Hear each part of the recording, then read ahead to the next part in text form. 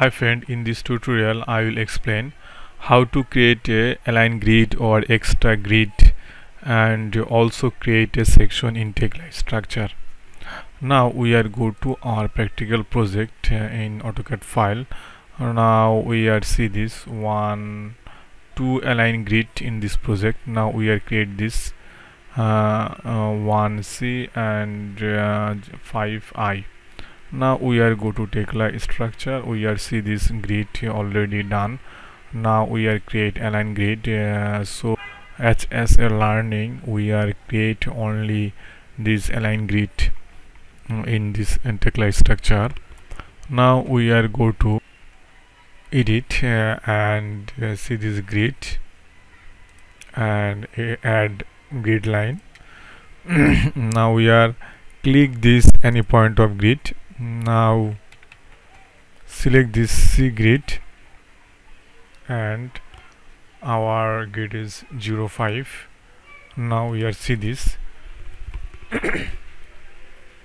Now we are double click this grid line and you can any rename this grid as your requirement. I see 1C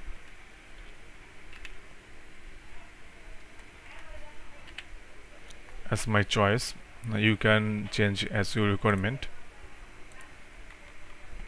Now we are create another align grid. Now we are see this AutoCAD file. 6 6a and h and i.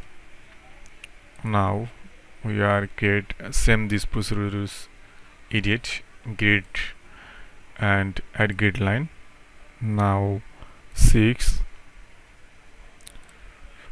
6a now we are select this. Now we are rename as your requirement typing as our requirement.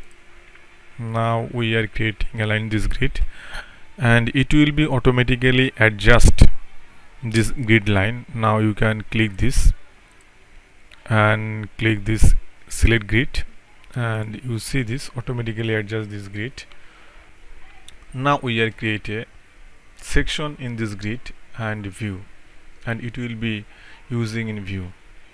Uh, so we are uh, see our view list. Uh, we cannot see any align grid view.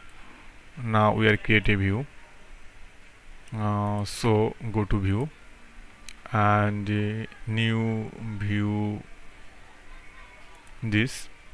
Now we are using point this view but uh, using this we are uh, uh, but we are explain another things just like we are go to setting. And contextual toolbar it is very important in this part. You can see this off and on you can on this uh, tick and on this contextual bar. It is very important so we are uh, go to new view. And using two point. Now you can select this. And click this. You can see this align grid. Uh, it is a project. On project you can see this. Now you can click this line. We can see this. Now we are rename this uh, align grid align grid grid 1 now you can pick this any point and then save. Now you can see this already view to align grid 1 now we are go to 3d and grid another line. Now we are same this. Now we are select this and you can see this align grid now you can click this point and then you can take this L grid 2 now we can click this any point and then save.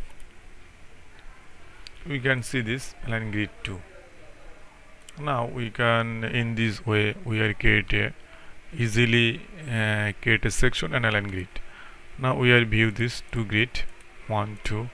Uh, you can using different type of project align grid and align line section elevation easily. Thank you guys. Uh, i hope it will be help any different type of project. Uh, thank you so much